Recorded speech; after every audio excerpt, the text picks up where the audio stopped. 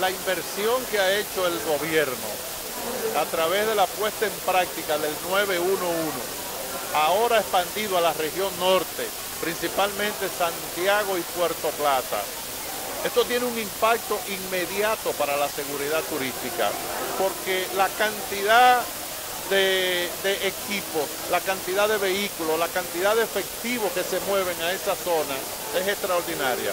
Por suerte, en el caso de la República Dominicana, nosotros tenemos un cuerpo especializado de seguridad turística, que es Gestur.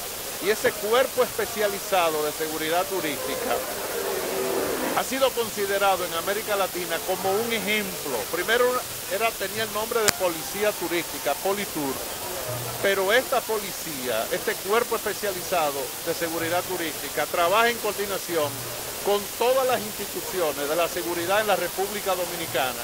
Y eso hace que los sucesos que pueden ocurrir en cualquier ciudad del mundo, en Estados Unidos, en Francia, en Inglaterra, en cualquier ciudad, pero cuando ocurre un hecho que afecta a un turista en la República Dominicana, se tiene como una noticia, porque esa, esa no es la cotidianidad de lo que pasa en nuestro país.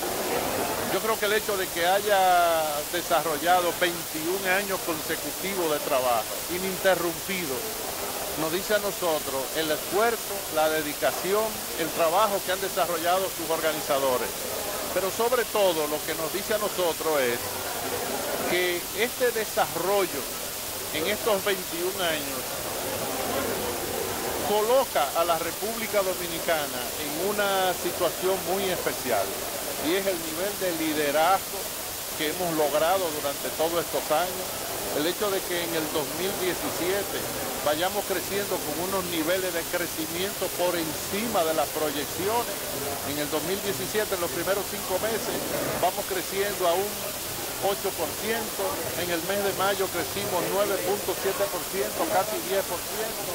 Hemos recuperado un destino como es el caso de Puerto Plata, que hoy día es el destino turístico que más está creciendo, porque está creciendo eh, casi un 15%, 14.5%. En el caso de Jarabacoa ha vuelto con un nuevo desarrollo. Jarabacoa hoy está sin lugar a dudas, en su mejor momento. Todos los proyectos de desarrollo hotelero y todos los proyectos de desarrollo de turismo inmobiliario están siendo un éxito en Jarabacoa. Y obviamente el gobierno también está haciendo inversión importante. Jarabacoa es el mejor destino de montaña que tiene el Caribe y es un ejemplo de lo que es el ecoturismo. Amigos de Turismo y más, hoy estamos con una persona muy especial, un invitado especial.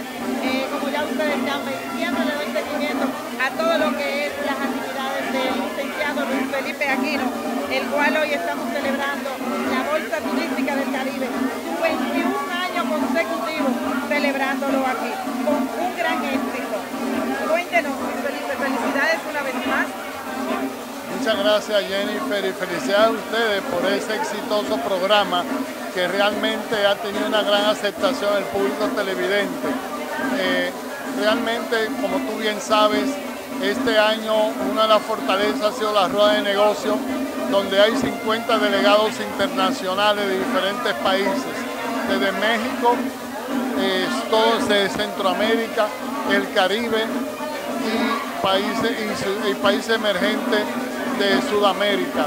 Eh, luego la otra fortaleza es la realización del tercer Congreso de Turismo Accesible, Turismo para Discapacitados, ese cemento mercado donde todavía nuestro país no está al nivel de poder recibir y tener las facilidades en las diferentes instalaciones de servicios para ese tipo de cemento mercado que es un gran gastador per cápita y que siempre está acompañado eh, de, familia y por lo tanto es un gasto grande.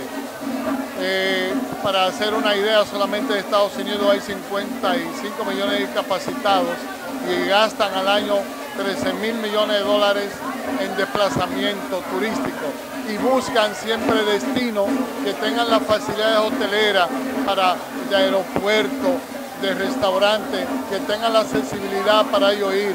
Por ejemplo, los restaurantes en República Dominicana no les cuesta nada tener un solo menú, un solo menú en braille.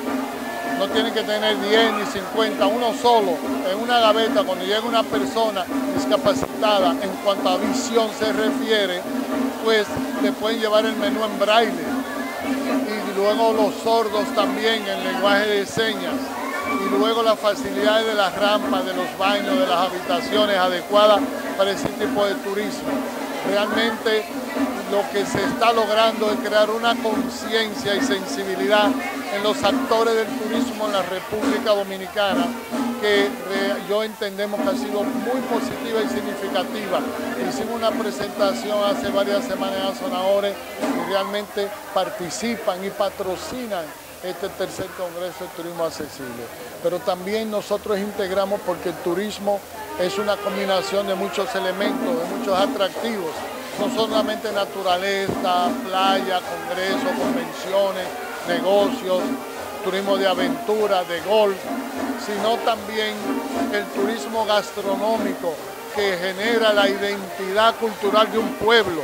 Y nuestros sabores realmente son inagualables, hasta tal punto que ya hay un movimiento para poner en valor la cocina dominicana.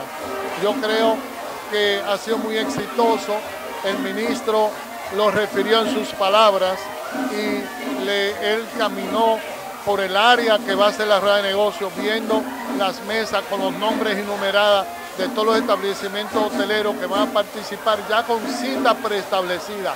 El mínimo de citas cubiertas son 15, el máximo 20 y todas están cubiertas. Creo que vamos a tener que alargar una hora más el horario de la rueda de negocios, que es lo que genera el turismo hacia la República Dominicana. Excelente, señora. Y en, este, en esto ya tenemos 21 años en la Turística del Caribe. ¿Qué se espera para el año 2017 con los embajadores? Bueno, eh, nosotros en una alianza estratégica con la Confederación de Organizaciones Turísticas América Latina, COTAL, estamos apoyando eh, lo, eh, lo que está haciendo COTAL con el primer congreso de destinos o de países emergentes. Y eso es sumamente importante porque hay muchas oportunidades todavía, muchos nichos de mercado que trabajar. Ustedes que están en el área de la comunicación lo saben. Eh, hay mucho, mucho que hacer, porque como yo decía esta mañana en una entrevista en el Diario Libre que va a salir publicada el día lunes, en, la tertulia que hace el Diario Libre con su director eh, Adriano eh, Tejada y luego con la subdirectora Inés Aispun, pues que decíamos que el turismo es una actividad humana, hecha por el, por el ser humano y para el ser humano. Por lo tanto, ponerle al turismo accesible es un apellido, porque existe el turismo de aventura, el turismo deportivo, el turismo de salud, el turismo de congreso, se le pone apellido según la, la apetencia del propio ser humano que quiere realizar y por lo cual se desplaza. Pero en el caso de la accesibilidad, es que tenemos que pensar que hay muchos discapacitados, sean visuales, motrices, eh, naturalmente intelectuales, que son seres humanos y deben tener las facilidades para no vivir entre cuatro paredes, sino poder vivir en su entorno, ¿verdad? Y eso es lo fundamental. De verdad, Luis Felipe, que yo quiero felicitarlo, porque realmente ustedes han completado una agenda todo lo que tiene que ver el turismo de la República Dominicana, sin dejar atrás nada, teniendo en cuenta cada detalle, cada rincón, cada espacio, en especial lo gastronómico, que es bastante que me gusta, ya que aquí en República Dominicana tenemos platos exquisitos y somos, especialmente cuando usted hace lo que es la feria gastronómica eh, patrocinada por UNATEC, y realmente yo lo felicito porque esta agenda es bien amplia y yo sé que ha recibido, ya lo podemos de personas que hay aquí, el cúmulo de personas. Y realmente creo que cada año eh, usted ha cumplido con una meta que ayuda no solamente a la Bolsa Turística del Caribe, sino a la República Dominicana en sí, para el crecimiento nuestro. Que ese 16% que llevamos hoy en la República Dominicana de crecimiento es para que nosotros cada día más estemos más representados. Y usted es un merecedor de que uno lo felicite y que Dios lo bendiga siempre Bueno, yo agradezco esa palabra tuya. Yo te diría, y lo saben, y ustedes lo saben, el equipo de ustedes jóvenes que están en un programa de turismo, que todo es constancia, perseverancia y trabajo. Todo es actitud positiva.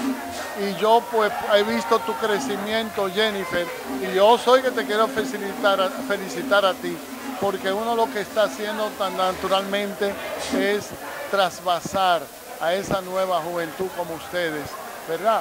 Lo que se pueda de vivencia y experiencia. Así que yo lo felicito a Turismo y más. Muchísimas gracias y Gracias. felicidades nueva vez, señores. Vamos a seguir disfrutando de lo que es la Bolsa Turística del Caribe y a ver todos los que tenemos por aquí. No se pierdan cada detalle aquí en Turismo y más.